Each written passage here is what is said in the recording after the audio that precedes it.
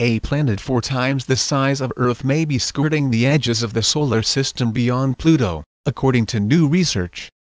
Too distant to be easily spotted by Earth-based telescopes, the unseen planet could be gravitationally tugging on small icy objects past Neptune, helping explain the mystery of those objects' peculiar orbits. The claim comes from Rodney Gomes, a noted astronomer at the National Observatory of Brazil in Rio de Janeiro. Gomes presented his recently completed computer models suggesting the existence of the distant planet at a meeting of the American Astronomical Society in Timberline Lodge, or, earlier this month. Astronomers who attended the talk find Gomes's arguments compelling, but they say much more evidence is needed, before the hypothetical planet can be crowned as real.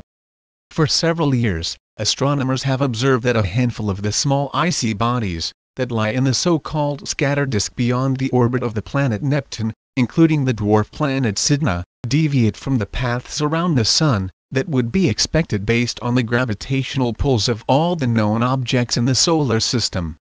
Sedna, for example, swings around the Sun in an extremely elongated orbit tracing out a very long oval. Sedna's orbit is truly peculiar, said Mike Brown, an astronomer at Caltech, who led the team that discovered Sedna in 2003.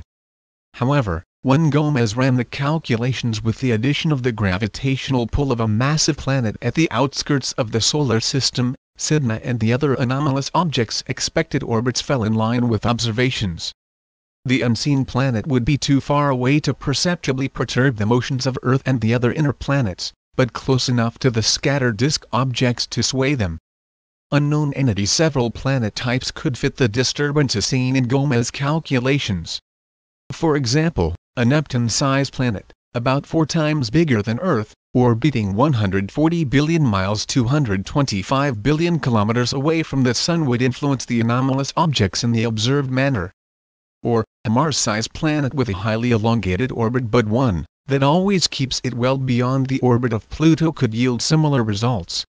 As for how it got there, the planet could have been born and then expelled from a distant star system and later captured by our Sun's gravity, Gomes said, or it could have formed near our Sun, and gradually been thrust outward through gravitational interactions with the other planets.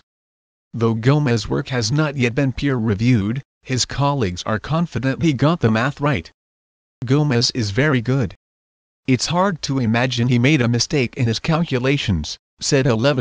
A planetary scientist at the Southwest Research Institute in Boulder, Colo. Rodney Gomes is actively seeking further evidence and I await his findings with interest. Douglas Hamilton, an astronomer at the University of Maryland, told Life's Little Mysteries. He has taken on a difficult task, but is taking the right approach. It is definitely a high risk, high reward situation. A discovery of a new planet would be spectacular new planet or old star?